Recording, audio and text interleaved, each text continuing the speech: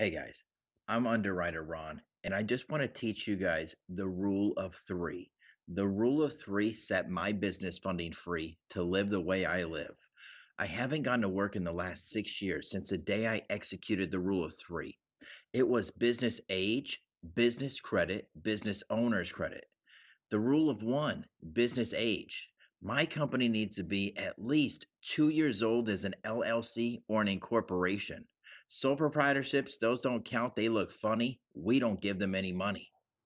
The second rule, rule of two, business credit. My business credit is not my Dun and Bradstreet number or an 80 paydex score. Banks don't look at that at all anymore. It's my EIN. In my next segment, I'll teach you how to build your EIN in 30 to 45 days. Number three, business owner's credit. The business owner's credit obviously is your credit. Personal credit, low balances, no negatives. I'm underwriter Ron, and I'm going to show you guys how to get to the money. I'm underwriter Ron, and I'm going to change your life. Follow me.